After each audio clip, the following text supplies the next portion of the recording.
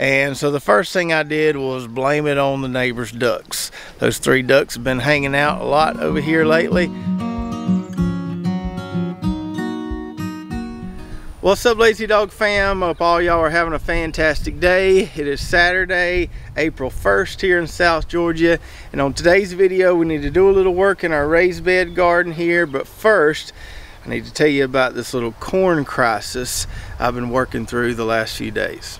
So a few videos ago, I think it was actually on last Friday's video, I was showing y'all how well our corn germinated here talking to you about how our weed pressure was minimal and everything was just going great with our corn plot. But then, as it would be my luck, a couple days later, I started noticing some of my little baby corn plants here getting munched to the ground, just like you see right there. So although we started out with nice, beautiful, full rows, we had excellent germination, we're now getting all these little blank spots in our rows where those corn plants were being eaten. And here's another one right here at the beginning of this row. Looks like I just didn't plant any corn seeds there, but it was full, just not anymore. So I got to thinking, hmm, what's happening here? Never really seen this before. And so the first thing I did was blame it on the neighbor's ducks. Those three ducks have been hanging out a lot over here lately. There they are. And I was thinking, well, those ducks been eating my corn plants.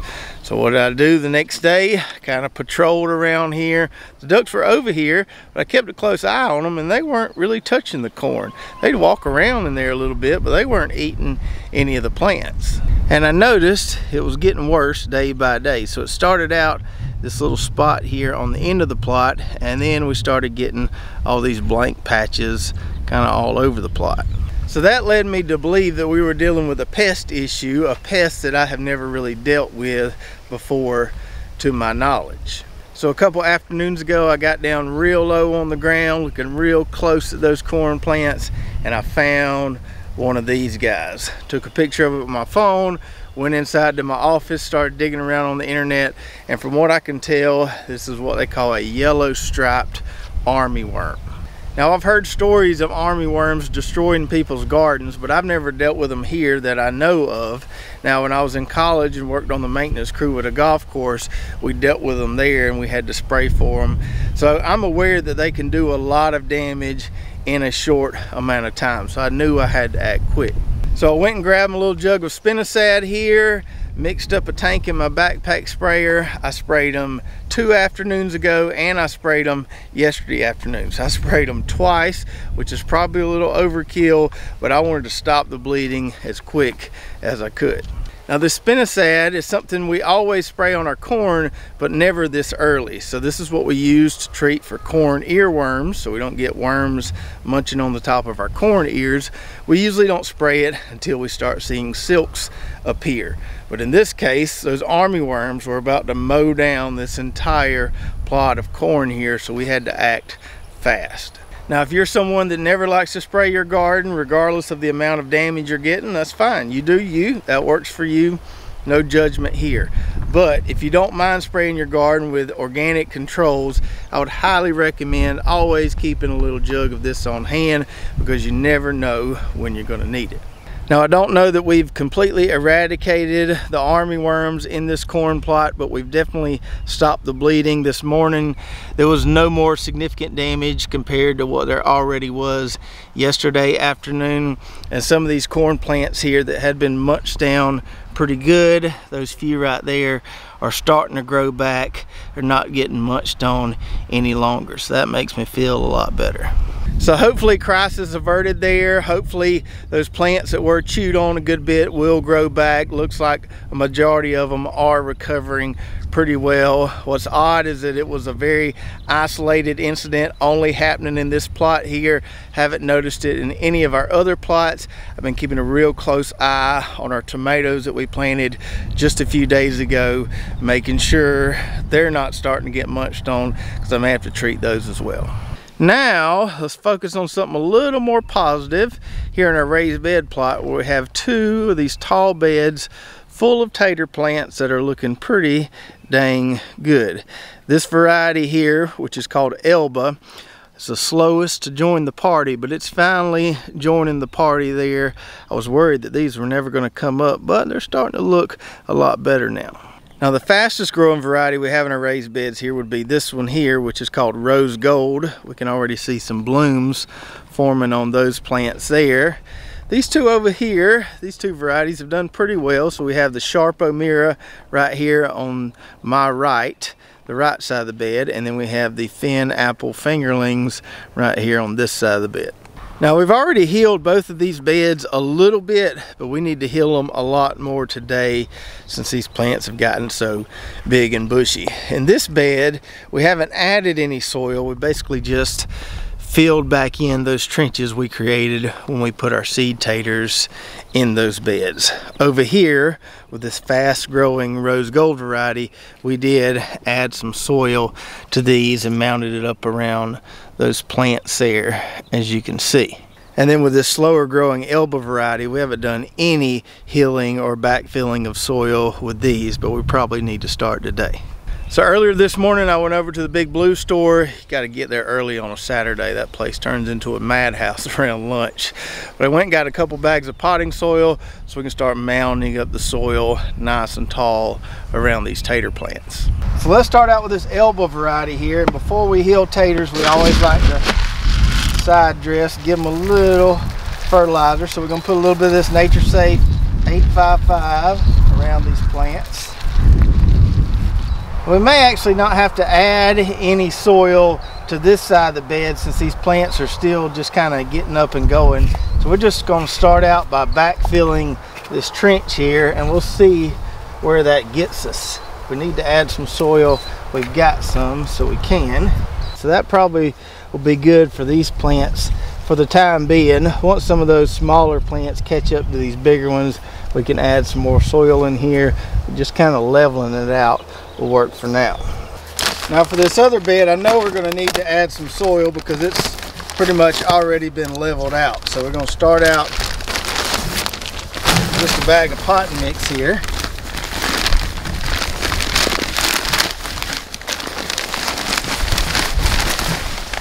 Then I'm going to add a little bit of mushroom compost to this, mix it in. This is Alana Miles' favorite soil amendment. Some of y'all won't get that. But probably put about a half a bag of this in here.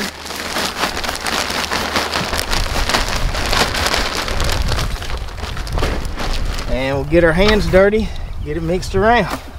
And before we heal these for the last time, let's go ahead and side dress these a little bit here. I've already done this one time. We usually like to side dress taters two times.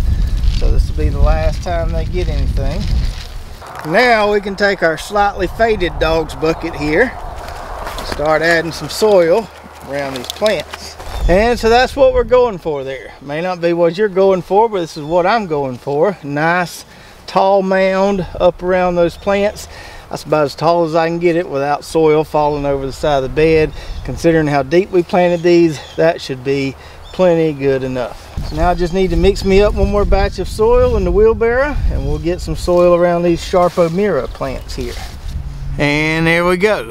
Now there's no guarantees that it will, but that there should give us our best shot at a really abundant harvest of taters. Now the next thing we need to do is correct a mistake we made by planting our cucumbers too early. Now for some reason planting too early didn't turn out to be a mistake with these yellow squash plants. You can see they're looking great. Might have some blooms on them within the next week or two. I have thinned them out so we've only got one plant per corner. But planting too early was a bit of a mistake with these cucumbers here for whatever reason. Got some spots here where we've lost a few plants. We've got some plants that are not looking so hot. They may recover so we need to kind of fill in these gaps here today. That way we have a nice full row of cucumbers to climb our trellis. I'm just going to poke a few holes here along this row. Thankfully, I saved some Excelsior cucumber seeds. I didn't plant them all the first go around because I knew I was taking a bit of a risk. So I do have some left over to use for replanting. So we're going to replant about seven or eight seeds here. And we're just going to hope that these plants that are still standing will kind of turn the corner and make it. That way we will have a nice little stand of cucumbers here. Got one seed dropped in each of those holes. These seeds germinated pretty well for me, even in cool soil the first time, so they should germinate really well now. No need to drop two seeds per hole there. And just get those covered up, and packed in. So that was for our bed of pickles and hopefully on the next video we can get these carrots harvested here and get our slicing cucumbers planted. Don't have time for it today because it's going to rain here in a little bit but we'll get those out of there, get this bed turned over, get some slicers in there. But what we do have time for is a little snack and a little gathering of groceries for supper tonight.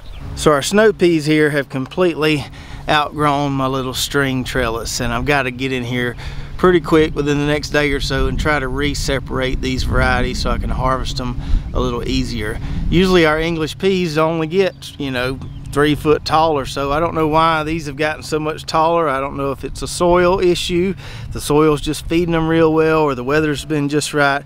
But usually the heat gets them before they get this tall. But I'm happy to see lots of flowers on there. And if we look on this side, we've got lots of little snacks on there. So this variety with the white flowers here is called Blizzard. Never grown this variety before. We got the seeds from MIgardener, but I couldn't be happier with the variety at this point. These little snap peas right here, man, the texture on those and the flavor is top notch. So that was our snack. Now as far as our groceries go, I want to get some of this head lettuce here. Now this stuff didn't germinate super great. You can see the red lettuce over there. The Cherokee germinated pretty well, but some of this over here didn't germinate that great. We're still gonna get a good bit of lettuce out of here. This stuff has really turned the corner since we side dressed it with some Nature Safe 855. It's really looking good. So we grew all these varieties back in the fall and ate most all these varieties back in the fall. The one I didn't get to really try back in the fall was this variety here. This is an oak leaf lettuce called Bauer and it was a little slower to grow for me in the fall and the Arctic blast kind of got it before the heads got really big but we've already been eating two or three heads of this stuff it is absolutely delicious and pretty too me grab one of these out of here you can see that there. Man that's some good looking stuff. Now this head of lettuce isn't massive by any means but we've been trying to eat this stuff right now while it's still a little cooler around here. Before it gets too hot and lettuce will usually start getting a little bit bitter. So last night we made kind of a Asian sesame ginger salad with some of this and some shrimp and it was mighty mighty fine. I think I might have the same thing again for supper tonight maybe throw some of those sugar snap peas in the mix. Now besides the taste and texture of this lettuce one thing I really like about it is that it's easy to prepare. So it reminds me a lot of the Salanova lettuce types if you've ever tried any of those. So you just take your knife and kind of cut that core out there and then you're ready to go. Rinse it off a little bit. Don't have to do a whole lot of cutting and chopping to be ready to eat this stuff so I hope you enjoyed the video today. Be sure to check out our affiliate links in the description below and go check out our website, lazydogfarm.com. And if you want to see how we planted those raised bed taters with our little trenching method, check out this video right here that we did back in February when we planted those, did the whole double row technique in trenches so we could backfill the soil and it's working really well so far. So check that out and we'll see you next time right here at Lazy Dog Farm.